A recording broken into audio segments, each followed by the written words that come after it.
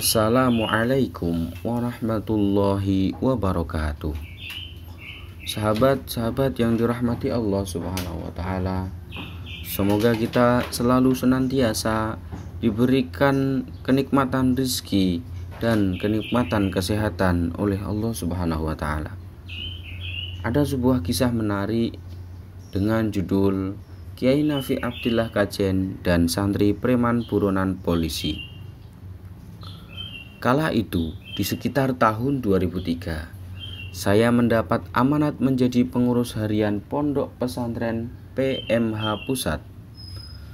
Bagi saya pribadi, ini merupakan tahun yang indah karena saya bisa sering sowan menghadap pengasuh, yakni Abah Nafi Abdillah.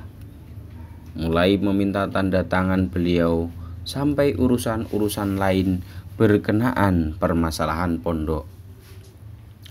Suatu siang di tahun itu, ada seorang tamu yang mengaku sebagai reserse polisi hendak sowan Abah. Karena pada siang itu Abah sedang mengajar matolek banat, maka kemudian tamu tersebut mencari pengurus pondok. Saya menemuinya, mempersilahkan masuk kantor pondok. Belum sempat duduk, tamu tersebut langsung bertanya, "Mas, di pondok sini ada santri baru yang namanya Muhid." Saya sedikit gemetar. Muhid nama yang baru kemarin saya dengar sebagai seorang buronan kepolisian memang ada di sini. Kemarin dia sowan langsung menghadap Abah dan berikrar untuk bertaubat dan berharap untuk diterima menjadi santri di sini. Nama Muhid sendiri di lingkungan kampung sekitar sini sudah cukup populer aksi kriminalnya. Pernah menjadi narapidana kasus pencurian sarang burung walet, kasus pembunuhan, pembacokan warga, dan tawuran antar kampung. Dan pada kasus yang sekarang, saya dengar dia habis membacok seorang kondektur bus lantaran kondektur tersebut menolak memberi upeti jatah mabuk untuknya. Sekarang jelas bahwa tamu yang sedang mencarinya ini adalah seorang reserse polisi. Saya tidak tahu, Pak. Jawab saya. Betul tidak tahu, Mas? Tanyanya lagi. Mungkin Bapak lebih baik sowan langsung ke Abah nanti sore sepulang Abah mengajar Jawabku untuk menghindari pertanyaan lebih lanjut. Hati-hati ya mas, kalau kamu menyembunyikan seseorang buronan, kamu juga nanti bisa ditahan. Pesan Pak Polisi sebelum pamit.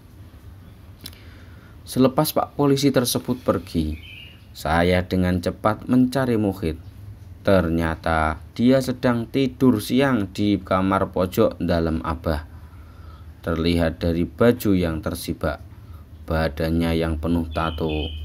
Saya kemudian membangunkannya dan berpesan kepadanya untuk tidak keluyuran ke mana-mana. Kamu harus tetap berlindung di sini sampai Abah yang nanti memutuskan permasalahanmu. Dia mengangguk dan mengucap terima kasih berulang-ulang. Waktu menunjukkan jam 5 sore. Pintu depan dalam Abah terbuka pertanda bahwa Abah mempersilahkan siapa saja yang hendak bertamu. Saya menunggu di depan dan Pak Polisi datang tepat waktu. Saya mempersilahkannya masuk ke dalam, menunggu sebentar. Abah Mios dan kami bersalaman. Saya mendekat Abah dan matur mengenai sosok tamu ini.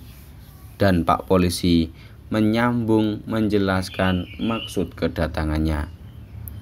Abah diam sejenak lalu ngendikan, kalau seandainya dia dalam kurung muhid biar tetap di sini dan saya akan mengurusinya pripun. Belum sempat Pak polisi menjawab, Abah melanjutkan, biaya kasus, denda, dan tetek bengeknya pinten. Pak polisi pun terdiam. Sosok yang tadi siang saya kenal garang dan tegas, sekarang menjadi lembut dan santun.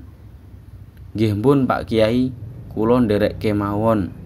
Abah tersenyum. Sekejap masuk ke dalam dan keluar dengan menggenggam segepok uang dan memberikannya kepada Pak Polisi. Monggo, ini biaya pengurusan muhid. Boten usah Pak Yai, saya percaya panjenengan, jawab Pak Polisi. Singkat cerita, Pak Polisi pun berpamitan, bersalaman, dan Abah memeluknya. Pak Polisi pun membalas memeluk sembari tersenyum. Saya ikut pamitan ketika bersalaman Abah berpesan, Muhid diajari ngaji ya, mulai alif ba sing sabar, iki amanat. Keluar dalam, saya masih terdiam dalam takjub.